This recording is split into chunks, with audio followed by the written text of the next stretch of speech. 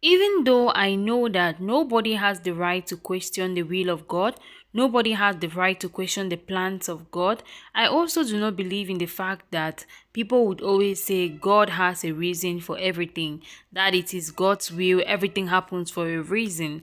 I do not believe in that at all. Yes, I know we don't have to question the will of God, but I do not believe in the saying that God is the reason for everything. It was God's will. If it happened, then it was God's will. Because tell me why, if a child at the age of two passes on, we say um under mysterious circumstances we say it is god's will. No it is not god's will for you to be born and for you to pass on before your time.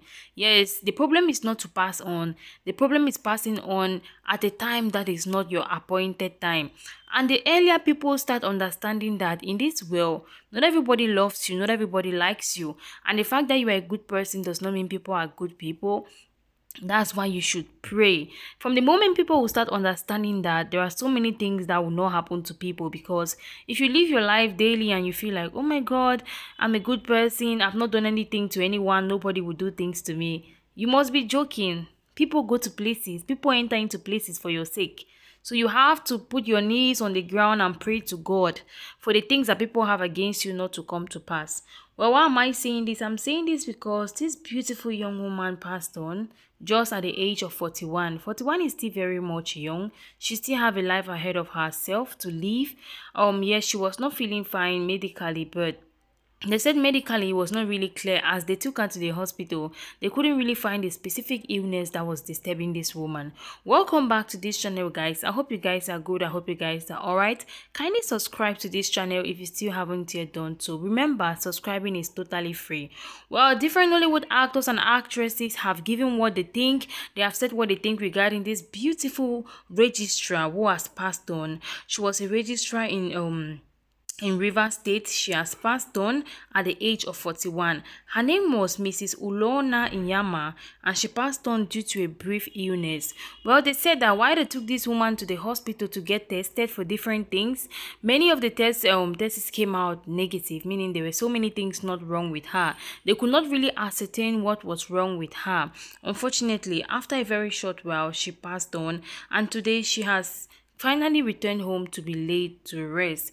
Guys, this woman was a registrar in court. She was intelligent, she was smart, she was a beautiful woman. People like um Mercy Johnson, Destiny Etiko, Regina Daniels are all talking about it because, you know, in this generation, women are currently looking up to other women. Women are trying to empower other women. You know, when a woman is a registrar, when a woman is a judge, when a woman is a doctor, a lawyer, whatever a woman is, is an advantage for other women too. We are gradually getting to a point where we believe that women can also be something in a society. So to see a young, beautiful, intelligent woman pass on just like this, it has touched so many people, especially especially someone like Mercy Johnson, who is also involved in politics because her husband is a politician. Well, guys, leave your RIP wishes in the comment section below for this beautiful young registrar who was called Ulona Iyama as she has passed on just at the age of 41. Leave your thoughts in the comment section below. And do you agree with me that the life we are living is more spiritual and that people go to places to make sure that other people will not stand?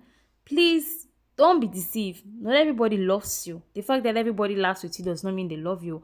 Take your spiritual life seriously and please pray. Leave your RIP wishes in the comment section below for this beautiful woman and your comments in the comment section below.